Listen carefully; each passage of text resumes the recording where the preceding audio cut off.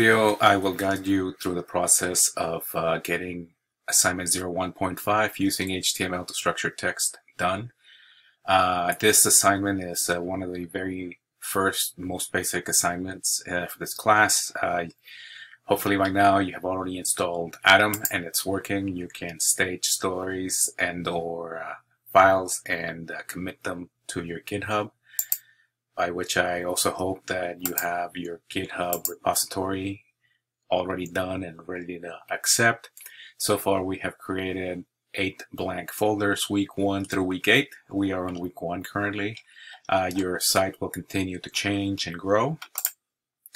Um, and uh, at this point also I'll, I'll, be referring to parts of the uh, reading assignment which are going to be lessons one and two in the uh, Shay Howe book. Uh, be sure to read these two first lessons, building your first web page and getting to know HTML. You don't have to necessarily do the assignment or rather the work and exercises described in the lessons, but they will always help. You can you have almost unlimited space in your GitHub account to save uh, files and save uh, practice exercises your GitHub uh, will be yours for as long as there is a GitHub. So I would go for it. Okay, so going back to the assignment. Um, the project will allow you to practice your newfound HTML skills described on lessons 1 and 2 as I just said and you're going to structure text using HTML elements uh, you'll produce an HTML5 web page that's going to look very much like this PDF that's attached up here. If I click on this, my browser will show it to me. It's, I think, uh, supposed to be three or four pages, but it may be five. And uh, your final product will not look like this in page format, but what I want you to do is figure out that you have a header that's large at the beginning. That's your header one as described in, uh, in the lesson. There may be a header two that looks just like header one except it's smaller. There's a link here. This one actually will take you, or it was supposed to take you to the original uh, script of this uh, paper, but I think that that's long gone. It's been long gone to history. If you find uh, where this is supposed to be, let me know. I think I can find it on archive.org. The story then, which is, um, it comes from time immemorial, I think is from 1999. Uh, it's a story of uh, Steve Jobs and Wozniak and, uh, and then of course Bill Gates and all the, the pirates of the uh, Silicon Valley. Uh, these are broken up into paragraphs. Uh, you should have already read about the paragraph mark by now, and I'm sure I've described it as well. There's some bold items which are strong in the course of coding. There are some bullet items. There are some italics, which are actually emphases. There are additional headers.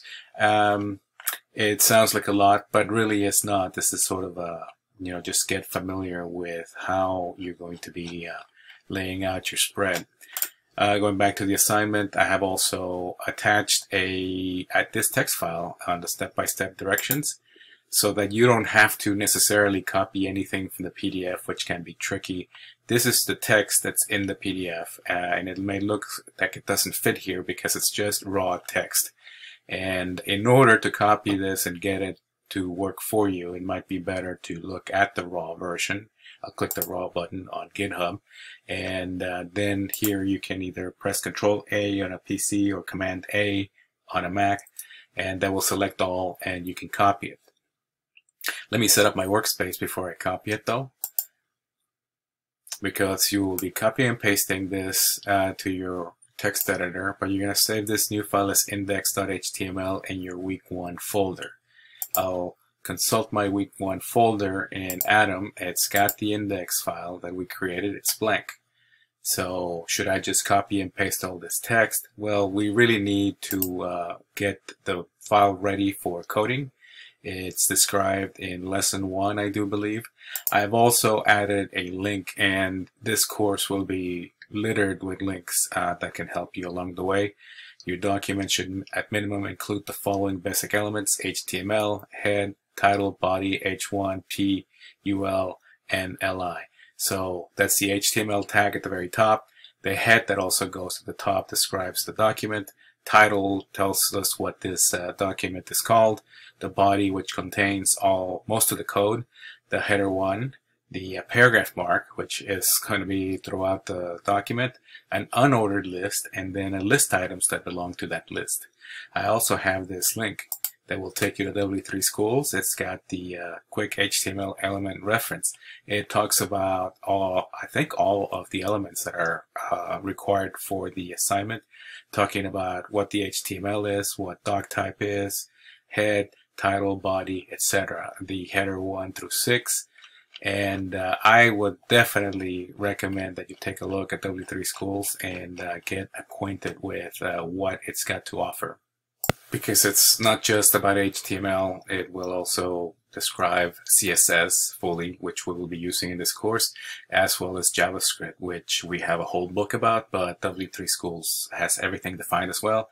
Later on for your other classes, SQL, Python, PHP, uh, Bootstrap tutorial, which is also mostly HTML as a product uh, by Twitter that is uh, very popular on the internet. And way lots more tutorials that I will not get into right now. Let me go back to where I was. And, uh, and okay, so here, if you need more information about the HTML, H1, P, these are the ones described in the, um, in the assignment. Uh, you can get them from here. They're definitely all in your book as well. Um, finally, well, I closed that. I didn't want to. I will open it again, the text file. Um, I also have a notation here that, that you can find lots of useful information at, at W3 Schools, the uh, site I was just describing. If you click on this link, this is the, the introduction to the HTML tutorial, and a very important document is given to you here. This is a gift-wrapped uh, present. This is a an example of a web page which you can you should really bookmark this uh, this uh, site for the remainder of this course because rather than having to know that you have to do a doc type and they have to declare HTML, that every page should have a head, etc., you can just copy this text. I'm going to click on Try It Yourself, which is an editor that's very much like CodePen, except you can't save stuff here. I will select all of this text and copy it. And then uh, when I go back to my Atom, I can paste it this now is a valid HTML page. Uh, it's got a doc type, it's got a page title, uh, and it's got a header one and a paragraph, which we will use right away because this document uh, that we're working with will look like that. Let me open up the document again, the PDF. It's got in the beginning was the command line. I'm going to give this uh, page a title, so I'll replace the words page title with the command line. You can call it whatever you want, whatever you'd like, as long as it's not called sample web page title. And, and then I think now it would be okay to start to look at the rest of the text. And that is in my in my gist here. I'll look at the raw again, press Command A on my Mac, Control A in a PC, and then Command C to copy. Control C on a PC. You can right click and copy as well. And then take it back to Atom. I have a body that will later have lots of tags. I could choose to keep this tag, these tags, but uh, maybe I'll keep the header one uh, for now. I'll delete the second line on line 9, give myself a little bit of space, and then Control V or Command V on a Mac and get all that text in. If this text is kind of hard to follow because it's too long, remember this uh, raw file does not have any line feeds. I can uh, view my uh, my window in a different way. I'll toggle the soft wrap so that rather than having a line like line 15 here that's so long that it actually wraps around three times, uh, but I don't know what it says or where it ends or where it goes. Uh, I can view and say uh, toggle the soft wrap so that then all the content that would extend all the way to the right side of the monitor is all presented as one line, line 15.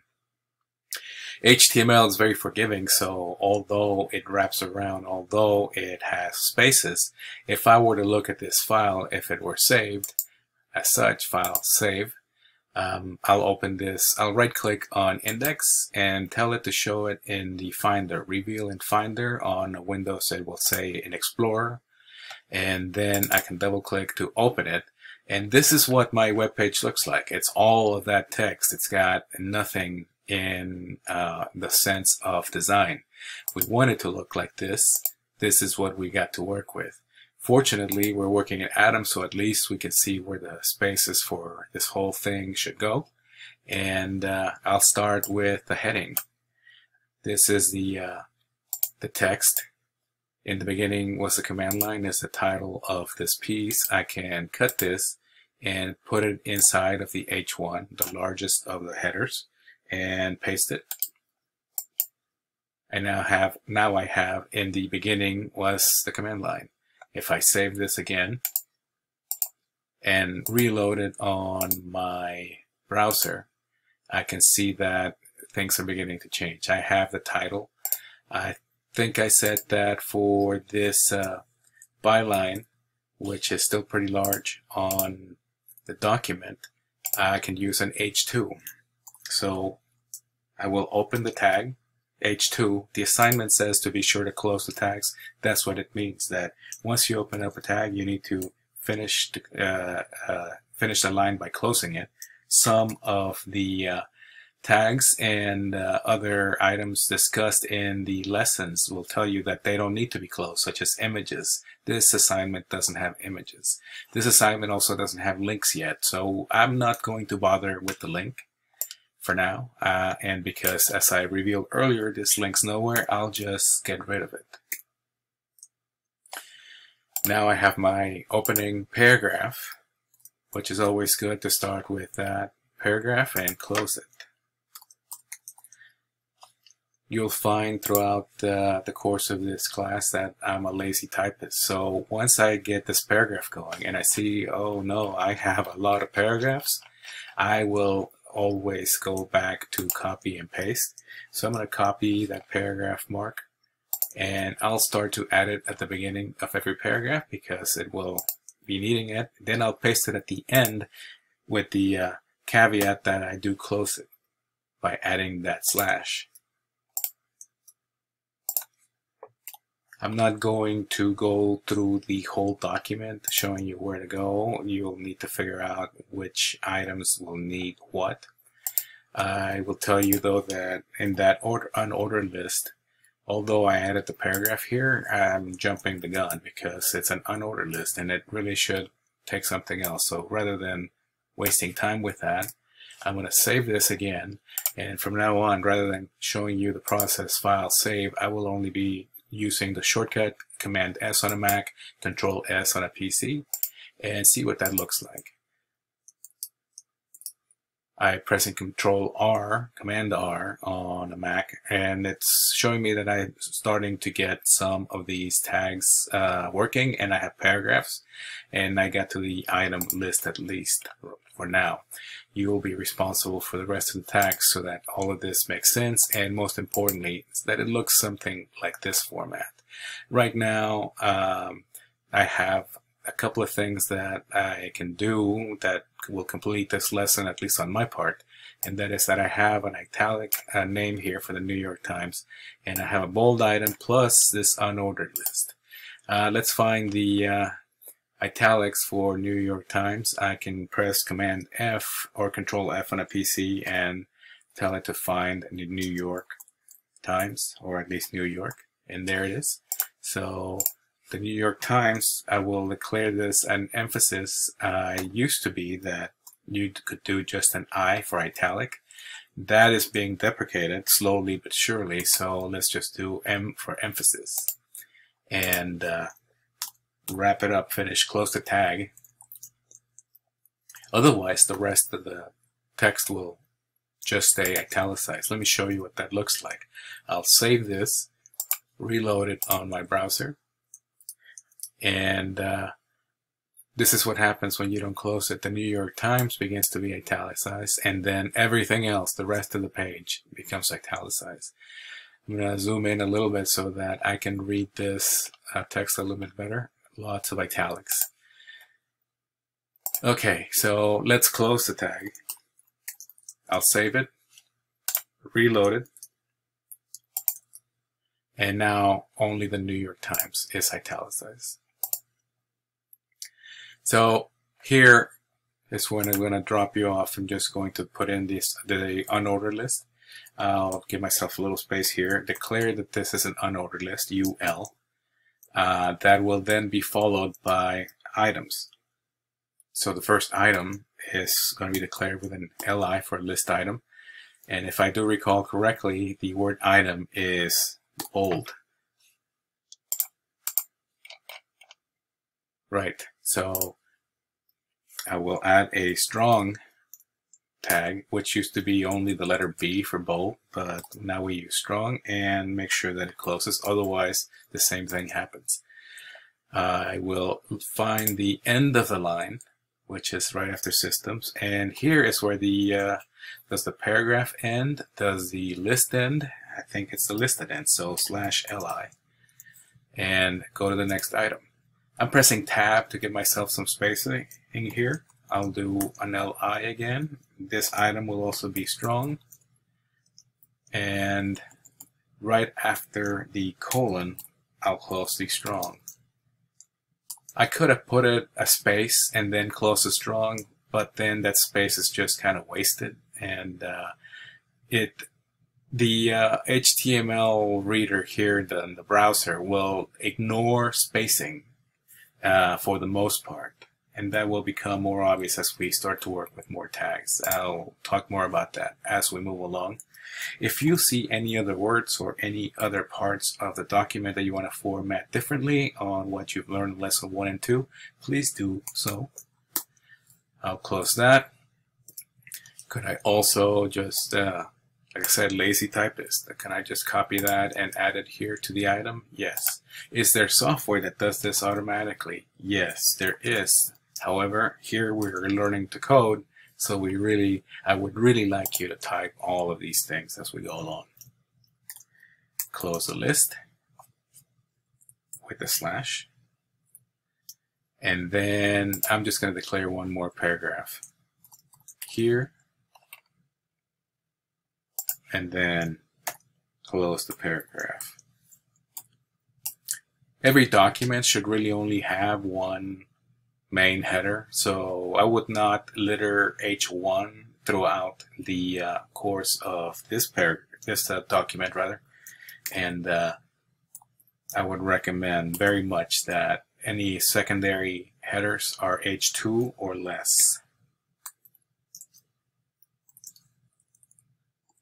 Okay, so that's the beginning of the assignment. There's a whole bunch of text that you still need to take care of. Uh, read up on your book. This uh, uh, copyright symbol, I don't know what it's going to look like. Let me save this again and reload. And, uh, well, it's okay here, but a better practice than just, do you know how to get just a a, a, copyright symbol on your keyboard. Maybe you do, but a lot of people don't. There are marks in the uh, uh, in HTML that will allow you to uh, to uh, display a copyright symbol. W. How about if you do W3 Schools copyright HTML symbol? There is a whole list of symbols and here are the codes. These codes uh, are HTML exclusive. They uh, you can just drop them into the code so that rather than depending on the character, you can just denominate a number or more importantly, a simple tag. This would be ampersand copy semicolon would display a copyright sign. Uh, more on that in the next lessons. So now that I have uh, created uh, the uh, the document and I've got started uh, with the code, uh, please do tag the rest of the uh, document according to the PDF sample. And when you're done, you can always double click on the uh, unstage changes. Uh, commit the changes so that they can be published. I will tell it that this is my first draft of week one. Make sure, I mean, your uh, comments are your comments. Uh, just you know, make sure that they make sense to you and that they're class appropriate. I will commit to the master and uh, look to see what's happened. I'm able now to push one document. I'll wait for that and um, hope that it gets there soon. I'm going to close this for now and head back to a blank page so that if I go to my web page, I'm able to see that there's uh, changes made. This is my first draft of week one. It has been committed in the last few seconds. And here is my index.html with my code. When you turn in this assignment, I need to see your URL for the site and rather for this one page. So it's going to be your your uh, repository name slash week 01 slash index.html. I'll go here and I can just copy it from there. That's what you're turning in. This is what our page is looking like online. It's uh, begun. Uh, I see that I left an unclosed uh, uh, tag somewhere, so it's going to be up to you to figure out where it was that I did not close it. I, I see that I, my unordered list gets started, but it's not properly closed because now everything is shifted to the right. So look out for that problem and debug it, please. Um, if you have any questions, please let me know. I'll see you on the next lesson.